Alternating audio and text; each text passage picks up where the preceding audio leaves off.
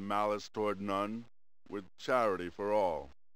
With firmness in the right as God gives us the right, let us strive on to finish the work we are in, to bind up the nation's wounds, to care for him who shall have borne the battle,